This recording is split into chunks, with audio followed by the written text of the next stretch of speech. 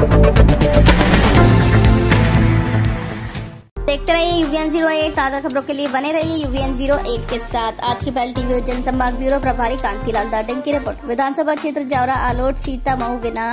बिना मौसम में बारिश बारिश के साथ ओलावृष्टि भी हुई जिससे किसानों की फसलों को हुआ नुकसान